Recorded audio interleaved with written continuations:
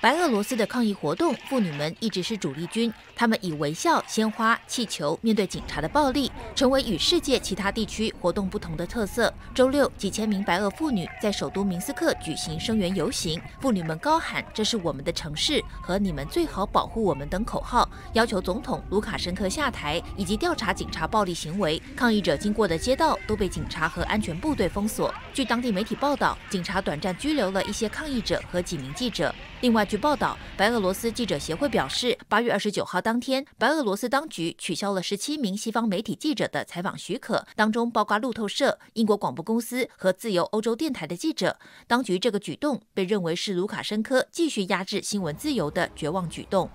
同一天，美国驻明斯克大使馆发表声明，表示对白俄罗斯政府封锁网站、随意抓捕公民、限制新闻记者采访等做法表示深切担忧。新唐人记者徐哲、陈海月综合报道。